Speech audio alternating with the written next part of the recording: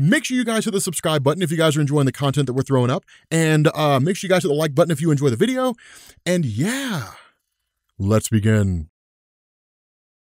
What's going on guys? This is Rob and today on Beyond Omega Level, we're going to look at one of the villains that defined and fundamentally reshaped not only the X-Men, but Marvel Comics as a whole in the 90s. A fan favorite that everybody seems to love, Dr. Octopus. That's not true. We're going to be covering Onslaught.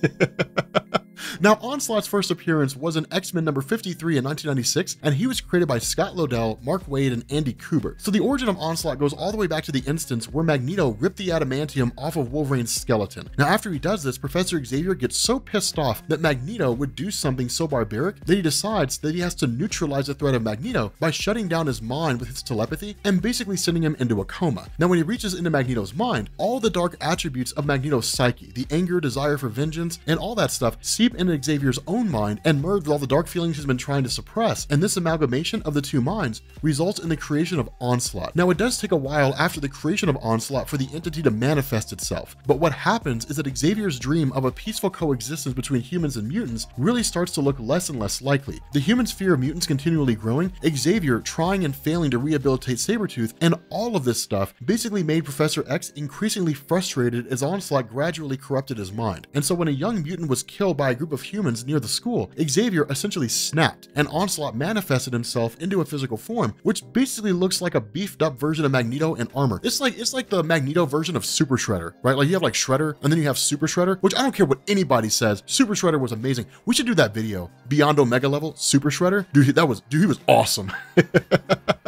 I love Super Shredder. I don't know how we're going to make an argument that he's beyond Omega level, but we should definitely do it. Like, we should definitely make that video. But regardless, later on, Onslaught would decide that he no longer needed Xavier and replace him in the armor with Franklin Richards, the mutant son of Reed Richards and Susan Storm, who can warp reality and would later absorb the psychic powers of X-Man Nate Gray, an Omega level mutant in his own right. The acquisition of these two vastly powered individuals took Onslaught from simply an incredibly powerful being into one that was almost godlike. Now, in terms of his powers, Onslaught's primary abilities are his telepathy and telekinesis. Onslaught's telepathy is arguably the most powerful in the Marvel Universe. He easily overpowers Jean Grey, an Omega level telepath herself, and possessed Thor, a feat that not even Emma Frost, an extremely powerful telepath amped up by the Phoenix Force, was able to do. He can possess large groups of people simultaneously, cause them to enter into a sleep-like state, and can manipulate their emotions. He infiltrated the mind of Steve Rogers even when he was in the negative zone, and Steve Rogers was in the main Marvel Universe. He can create illusions, steal memories from others, including telepaths like Jean Grey, force others to enter the astral plane, and absorb the powers of those he possesses. On one occasion, Onslaught possessed the Hulk and forced him to change between his green and gray forms. It was even stated by Apocalypse that Onslaught is capable of funneling the collective psychic energy of all living creatures for his own use, although it is unclear if Apocalypse meant within the universe or the multiverse, but either one is enough to place him beyond Omega level. Now, in addition to his vast telepathic powers, Onslaught is also an extremely adept telekinetic.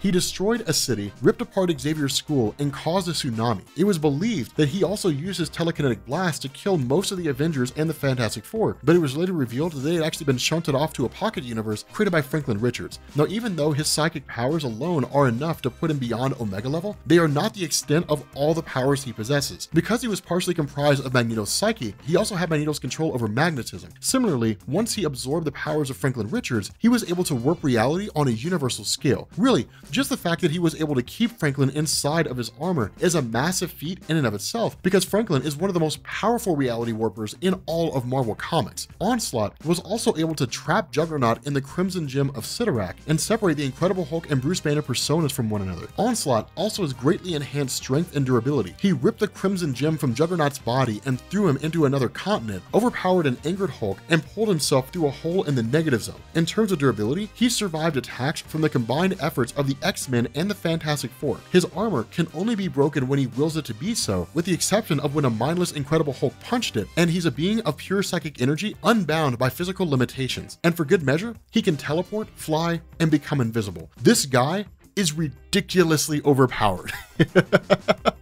it was insane how powerful he was. But with that being said, guys, we're going to bring this video to an end. Let me know down in the comments section what character you guys want me to do a video on next. I'm curious who it is you guys want me to do. With that being said, guys, we're going to bring this video to an end. If you are new here to Comics Explained, make sure you guys hit the sub button to become part of the Rob Core. If you guys enjoyed this video, make sure you drop a like And yeah, I will catch you all later. Peace.